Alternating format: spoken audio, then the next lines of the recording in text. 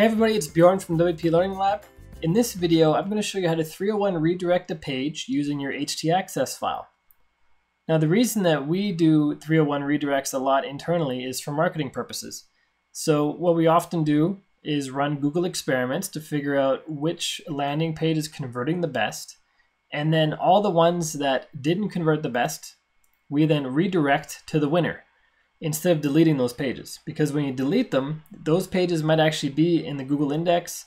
If we did some paid advertising, we might have had social sharing of links to those pages on social media, and we don't want to lose the, the potential traffic that those pages have. And that is why we redirect them instead of deleting them.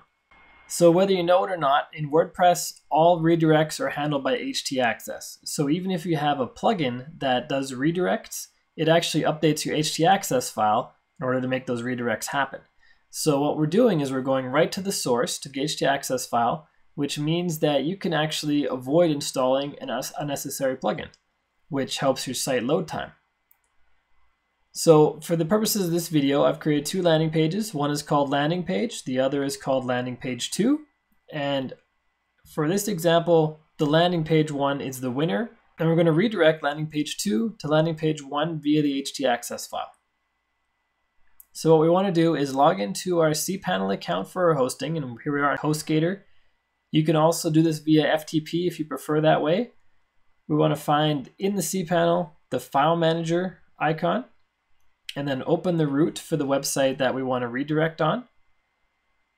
And we will see an htaccess file in that folder. If you don't see one, you actually just create one by clicking the add new button, or sorry, new file button, and then type in .htaccess and then click on create new file. I'm not going to because we already have an htaccess.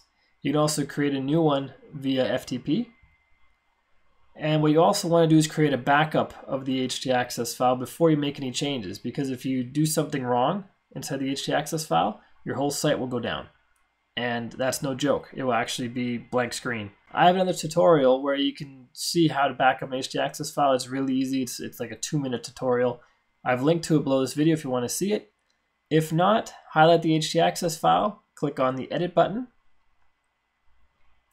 And then when we're in here, this first part is permalinks for WordPress. That's some permalink parameters.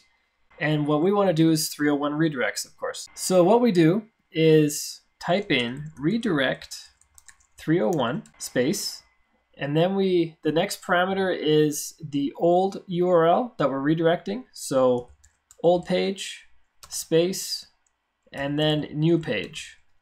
So that's the format.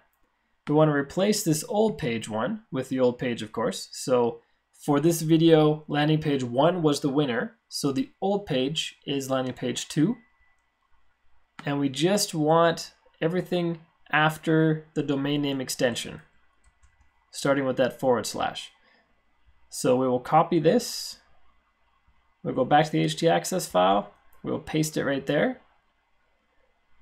Now I want to replace this with the full URL of the page we're redirecting to. So we go to landing page, we copy,